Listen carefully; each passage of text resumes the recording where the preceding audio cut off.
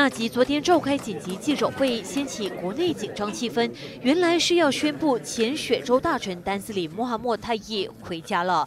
这位曾经几次跳槽的老练政治人物，以公正党鲜少关注乌裔课题为由，重回乌统怀抱，惹来了点名和不点名的明朝暗讽。当中又以公正党内部的声音最为激烈。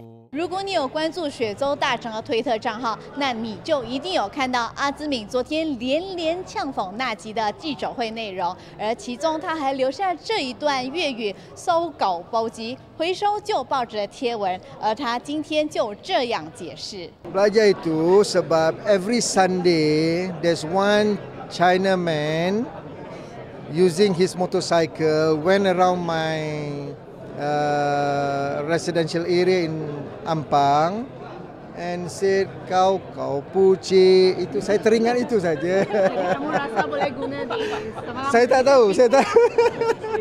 对于这位既是雪州大臣前辈，又是公正党前党员的人，阿兹米不愿多谈，只是在记者追问下，还是按耐不住，再踹对方一脚。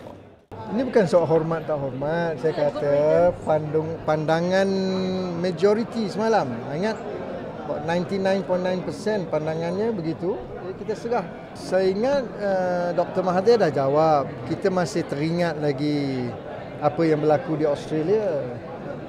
Apakah itu perjuangan untuk membantu orang Melayu?